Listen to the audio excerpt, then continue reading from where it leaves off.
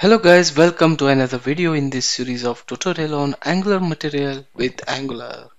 In this video we will learn to add another important UI element which is widely used in most of the websites or applications. That is calendar. As you can see here calendar is nothing but it is a view where we can see all the dates of current month in a web page and there will be a provision for user to go to next month and previous month and they can choose the different year as well. In the previous video we have seen how to embed date picker so this calendar is similar to date picker what we have used in our application. To add or embed calendar in our Angular application just like other UI elements there are three steps which we need to follow. The first one is we need to add API reference for Angular material components in the app.module.ts file. Here we need to add two modules in our application. The first one is mat date picker module which is a module for date picker. If you are using Angular 7 or below you can import this one from Angular material library. Else if you are using Angular 8 or above, you can import this one from Angular Materials Date Picker library. And the second module which we need to import is Mat Native Date module.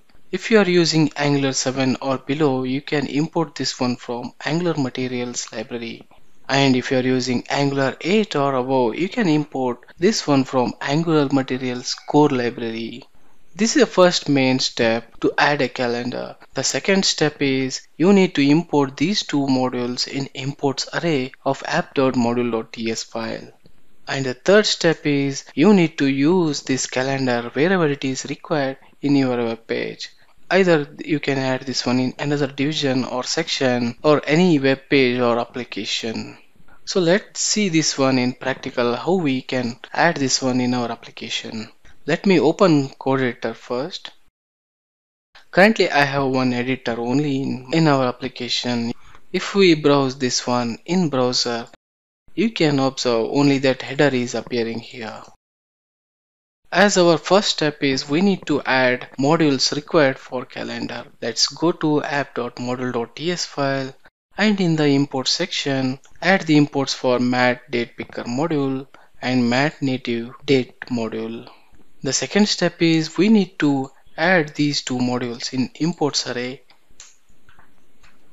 We are done with second step and the final step is we need to go to HTML template. And here let me create one section.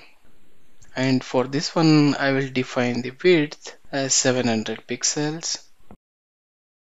And to add the mat calendar we have a dedicated tag by Angular material that is mat calendar. Only that is the thing which you need to do in HTML template. Now we are done with all these three steps. Let's save these files. Now go back to browser to preview this one and check whether it's working fine or not. As soon I open the page you can observe here we have a calendar. As we have defined 700 pixel it's not getting fit into our application let me reduce the size of this one to 300 pixel. Save this one and go back to browser. Now we can see entire calendar here. As we expected all the dates are showing here of the current month and there are navigation buttons for next and previous months as well. And user can see the drop down and they can choose different years as well. This is one of the widely used UI element or feature in our applications. That's it guys for this video. Thanks for watching this. If you like this video please click on like button, share it with others and subscribe to my channel.